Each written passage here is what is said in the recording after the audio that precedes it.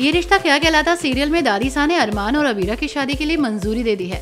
रोहित दादी सा के सामने शर्त रखता है जिससे परिवार का हर सदस्य चौंक जाता है।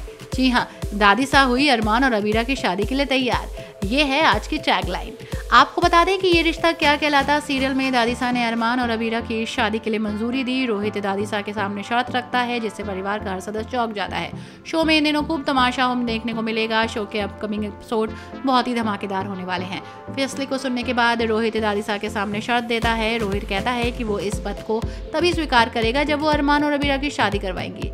लेकिन अरमान और अबीरा ने एक दूसरे से वादा किया है कि जब तक दादी सा आशीर्वाद नहीं देती, तब तक वे शादी नहीं करेंगे। आने वाले एपिसोड में बड़ा धमाका होगा। जी हाँ आपको बता दें कि शो के लेटेस्ट एपिसोड में हम देखते हैं कि दादी सा रोहित को कंपनी के पेपर सौंपती है और कहती है कि उसके बाद वो कारोबार संभालेगा।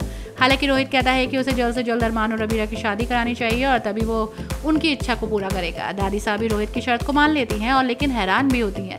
इसके बाद अरमान और रबीरा को अपनी शादी के बारे में बात करते हुए देखते हैं। अरमान कहता है कि उन्हें जल्द से जल्द शादी कर लेनी चाहिए। हालाँकि अबीरा इस बात से सहमत नहीं है। अबीरा का कहना है कि ऐसे हालात में वो उससे शादी नहीं कर सकती। वो कहती है कि रोहित ने दादी साहब को समझाया नहीं, बल्कि उसे ब्लैकमेल किया है।